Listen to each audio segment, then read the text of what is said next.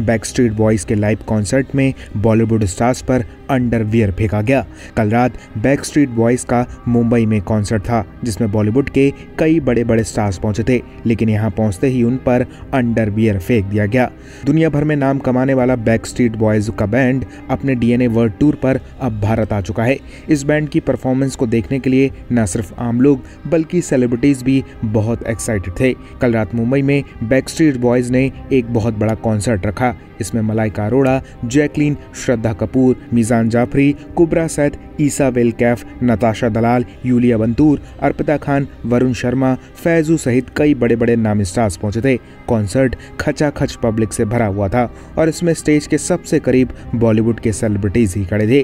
Concert शुरू हुआ तभी बैक स्ट्रीट बॉयज़ के सदस्य ए जे मैकलिन ने अपना अंडरवियर स्टेज से अपने फैंस पर फेंका। ज़ाहिर सी बात है कि सबसे करीब वहाँ बॉलीवुड सेलिब्रिटी ही खड़े थे।